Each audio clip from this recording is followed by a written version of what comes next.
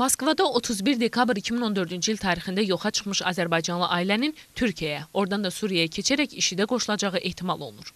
Hacı Murad Həmidov, Türkan Hüseynova və onların bir yaşlı qızları Safiyə Həmidovanın itkin düşməsi barədə məlumatı Türkan Hüseynovanın əmsi Cavanşir Hüseynov bildirdi. Ayın 31-dən birinə keçən gecə bilmişik ki, evdə yoxdular. Atası gedib və evdə olmayıblar.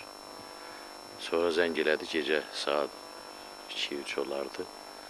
Hə, oğlanın atası gəldi, biz yığışdıq. Hə, sonra telefon əlaqəsinə çıxdı, nətər telefon əlaqəsinə çıxdı. Yazışdılar, сообщение yazdı kompüterine.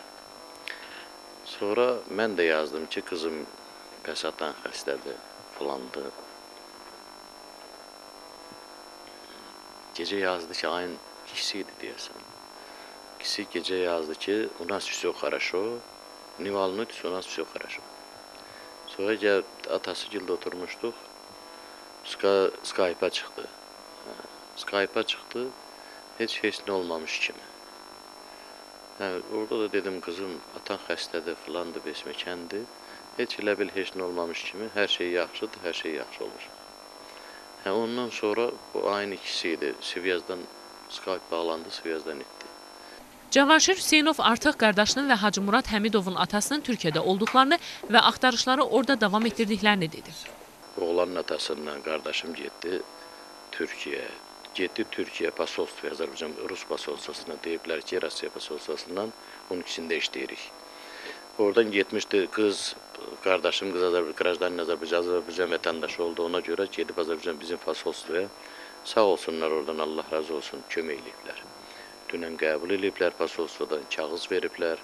Posol orada polisiya xəbərdarlıq eləyiblər. Qardaşım gedib polisiyaya. Polisiyadan öyrəniblər ki, ayın 31-i gecəsi Ankaraya gəliblər onlar. Hə, Onlar İstanbuldan şəkil, şəkil göndərmişdi. Deyirlər Antalyadayıq.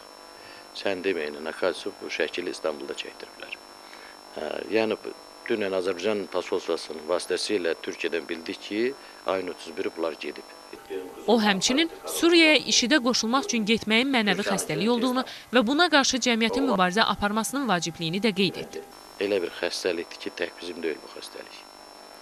Bu bizim millətin xəstəliyidir. Buna təkliklə bunu həll etmək mümkün deyil. Bu bəladır.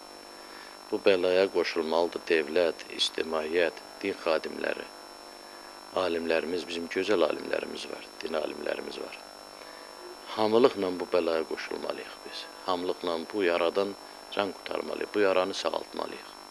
Mən Allahdan kömək arzulayıram.